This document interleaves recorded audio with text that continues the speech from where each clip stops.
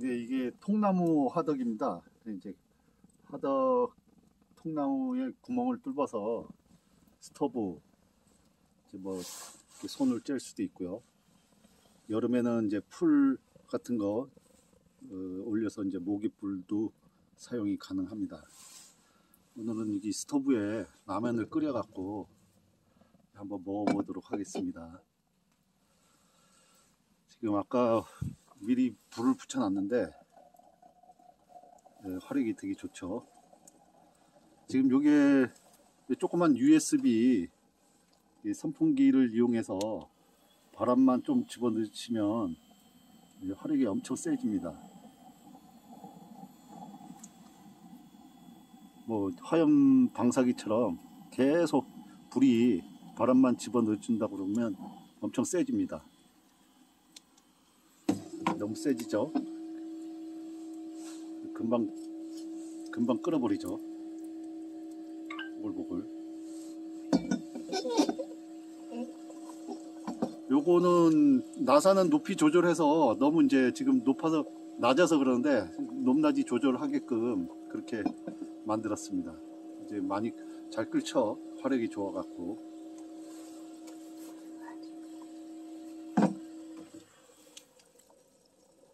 네, 여기다 한번 라면을 넣어서 한번 넣어 보겠습니다.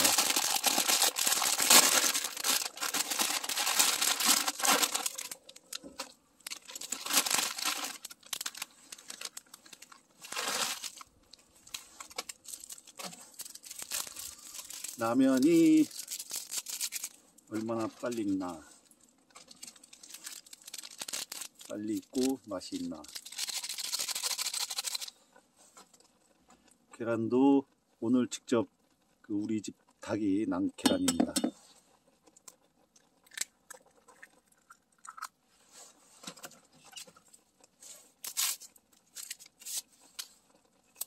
벌써 계란은 다 이거 저희 노, 흰자는 익어가고 있습니다.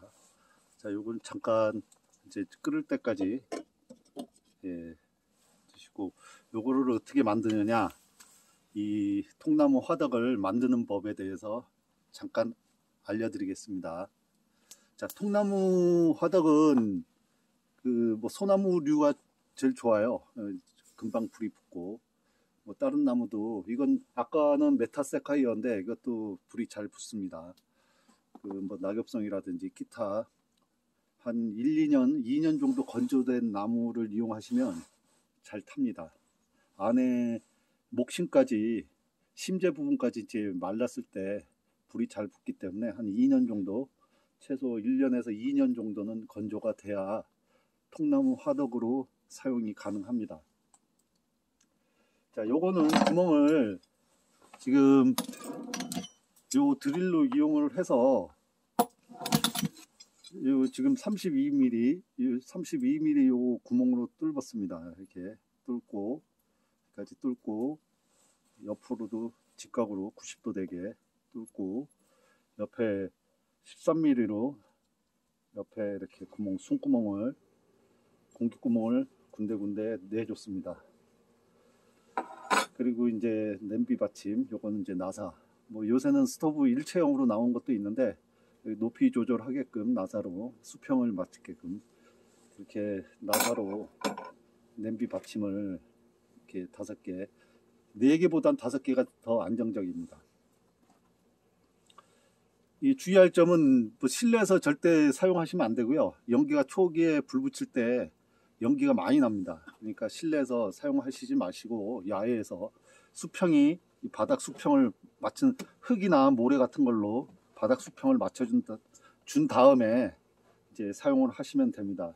이제 불을 붙일 경우 요런 이제 어, 저희가 이제 이것도 판매를 하는데 저희가 할 때 이렇게 요런 잘 붙는 대나무 조각이나 소나무 뭐 그런 거를 같이 이제 넣어 드리는데 일단 요 같은 경우는 이제 소나무 이렇게 있는 거 이렇게 몇 개 하고 주변에 이제 덮 이제 토치로 이렇게 불을 붙이시면 돼요. 토치가 있으면 토치로 이렇게 해서 그 아까 불쏘시개가 탈 때까지 하면 이렇게 불이 붙죠. 예. 그 지금 알코올을 저희가 조금 드려요. 그러니까 알코올을 아까 미리 좀 넣어놨는데 지금 불이 붙네요. 이렇게 해서 토치로 그 아까 불쏘시개에 불이 붙으면 이제 이 안에 있는 나무 자체가 타면서 타면서 이제 계속 그 불이 이어집니다.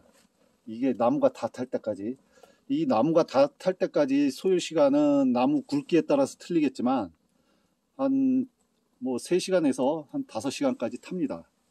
그리고 이게 한번 불을 붙으면 그 꺼트리기가 힘들어요.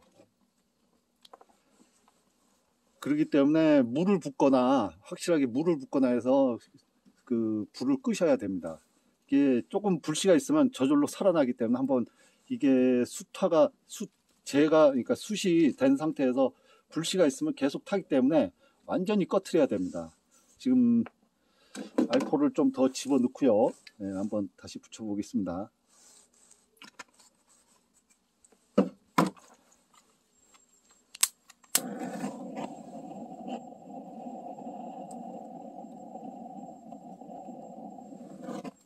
불이 나오죠. 맨 처음에 모르시는 분은 이 토치가 있으면 편합니다. 안 그러면 뭐 그 이쑤시 이거 젓가락 같은 걸로 불을 붙인 다음에 이렇게 집어넣고 요 조그만 USB 선풍기 있으시면 이렇게 해서 바람만 집어 넣어 주시면 금방 불이 붙어요.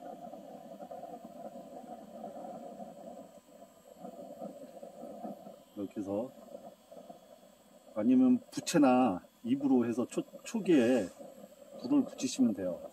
불쏘시개가 없을 경우는 나무젓가락을 잘라 갖고 집어 넣으셔도 됩니다. 그래서 이제 불쏘시개가 양이 부족하면 이제 뭐 좀 더 넣으시고 해서 불을 이제 안에 불이 붙을 때까지 집어 넣으시면 돼요. 잠깐 지금 불이 좀 덜 붙었는데 요거 저만 조금 더 불쏘시개 불이 붙을 때까지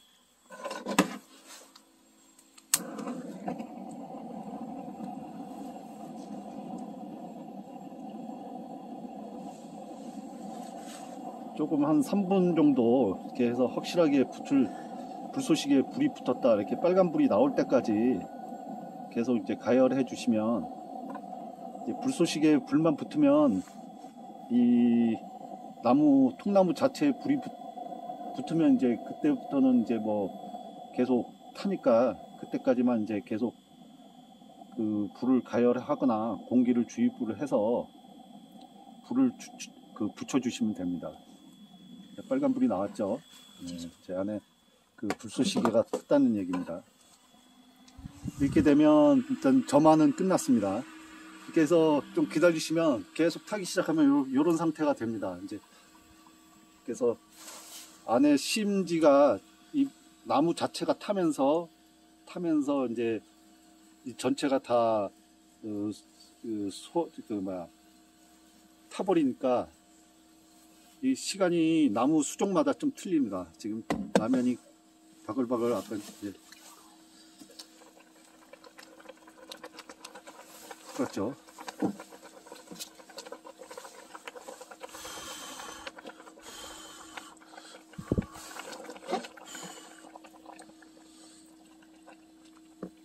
네, 라면이 맛있게 익었습니다.